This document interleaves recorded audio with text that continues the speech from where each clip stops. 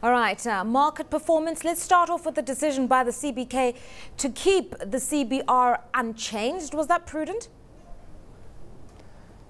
It was prudent, and I think the, C the central bank is sending two very key messages to the market. One is they're saying that we are done with fighting inflation.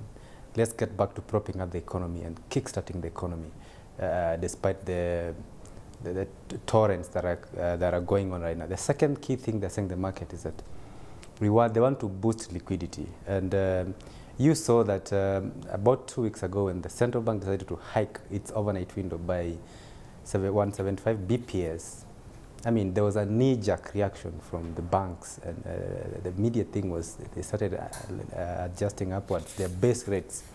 And so, very two key messages we are getting from that, uh, uh, from that decision today. Okay. Let's talk about the fact that, you know, we've seen very topsy-turvy actions on the part of the CBK, raising the interbank rate, two weeks later reducing it, now this decision not to tighten. There is just a sense that um, the market needs a little bit more certainty and the market needs decisive action, particularly to help banks boost their liquidity, particularly to stabilize the currency, and that keeping monetary policy tight is just not going to do that. Absolutely. Um, you look at uh, there are two things here. There's an overnight window, and then there's a CBR rate. Um, and, and, and they are supposed to, they, ideally, in, a, in, an, in an ideal scenario, the, the, the, overnight window is supposed to trade below the CBR. In a situation where the overnight window was hovering above the CBR rate, actually, it, in effect, it deoperationalized the CBR, which should not be the case.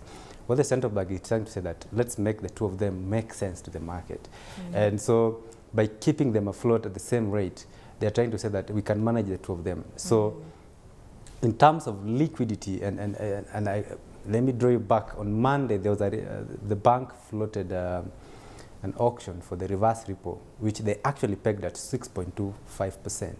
And the, the, response was amazing. The performance right. was, actually, the, the bank received 40 billion, you know. Okay, let's talk about the shilling because this should have a direct bearing on the shilling going forward. We're already seeing a shilling under pressure today with heightened demand for fuel products, also with global forces uh, that are taking their toll also on the currency. Um, a shilling has found a new resistance, some would argue, at about 90 shillings. That's what we're seeing now, and that's a worrying picture. Actually, uh, um, with our projection, we are still seeing um, a tight range for the local unit. And I think 91 will be a very huge resistance. So uh, that's tight range. And what we've just seen today, the, the central bank uh, uh, leaving the benchmark rate at 6.25%, they're also trying to give stability to the, the volatility that we've seen on the shilling. And so, in a nutshell, we still might see a, a, a lot of tight range trading, although um, there's, there, there is the, um, of course, there's a power rationing, and the, the KPLC is saying that there was a lack of planning prior. Mm. So obviously, energy importers, there will be a lot of demand from that side, and there will be a lot of pressure from energy importers, mm. especially oil importers, to mitigate the gap that we are having right now. So still a lot of pressure coming ahead for the shilling, but I think 91 still will be a a huge resistance for the local unit. So we might see a bit of tight range going forward. I mean, talking about energy rationing, that's effectively begun today. It's a really worrying situation, the fuel uh, issue in Kenya. And this reflects in the results that we've seen from Sameer, the tire maker, is that of the cost that they've incurred, a large component is due to a volatile currency and also ineffective uh, supply or inconsistent supply in fuel and rising fuel costs. How are manufacturers in general going to be impacted going forward?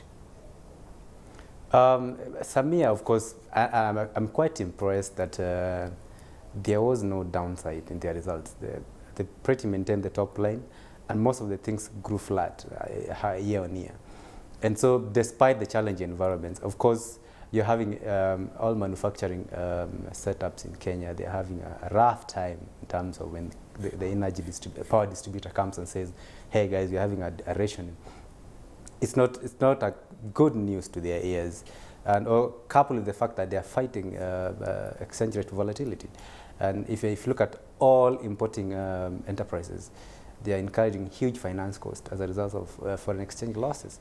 So I think those two key factors, energy and, and exchange rate volatility, will still continue eating with their margins going forward. And most of the manufacturing enterprises, they will still have to incur such kind of um, losses Right. um, for the two factors going forward.